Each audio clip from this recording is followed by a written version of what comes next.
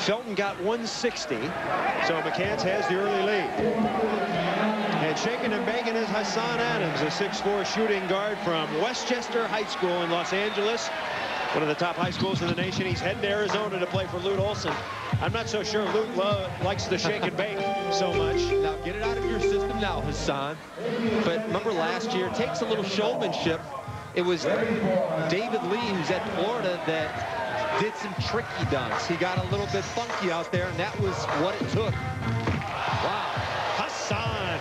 Now, let me correct one thing I said. You get three scoring dunks. If you miss one, you get a redo. So you have three scores to take you to the next round. Chance for Hassan to get some major time next year. Oh! He is shaking and baking. Look out, Luke. Look out, Lute Olson. Here comes Hassan Adams.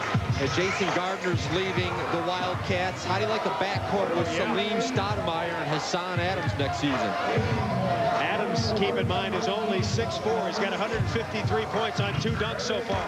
Off the glass. Oh, he missed it. You see, that's a critical error because with his first two dunks, he did plenty of work to advance. Why take a risk with a very difficult dunk? Well, you want to pile up the points. Very nice. He jams one through. If you get the redo, you might as well go for a tough one. And look at that. It used to be the Mexican hat dance. hey, my friend Adams has some Vince Carter-like elevation in his game. 233 points for the future Wildcat. Hassan Adams. So now the players are loosened up a bit. Undress on his dunk before. Well, we might see some some things from Hassan Adams. He has been boogieing all through the timeout, all through the commercial break. I'm afraid the guy's going to pull a muscle. Hassan Adams out of Westchester High School. He's headed to Arizona to play for Lute Olson. He was spectacular in the preliminary round. What can he do here? Not short on confidence.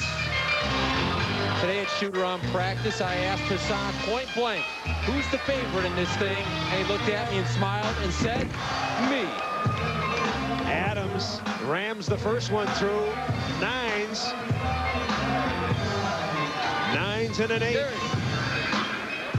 A total of 71 for Hassan Adams. So dunk number two. I tell you, Adams is the best dancing dunker I've ever seen. Wonder if he can incorporate something into his dunk. Oh, he missed number two. So that's going to put some pressure on him now. He's got two more dunk attempts. He's got to make them both to have a chance at the championship. Yeah, he has a nice arsenal of dunks, but what we've seen, he's missed a couple of his easier attempts. That was easy? Not for him. Hassan Adams is only 6'4", folks. He jumps like a young Chris Marlowe, though. you like the way he can sky around the basket. Uh-oh, this is dangerous. That's a trouble one. He's going for it. Oh, that would have been the most spectacular dunk. And instead, that is going to knock him out of the final competition. I wonder if he realizes that. The most he can get is an 80 and a 151, so he's history. He rams one through, and he is upset. All right, now the big man. So you give him an E for effort. He got a beauty there, but he is going to finish with 146 points. They give you one redo. Redo part two. Hassan Adams.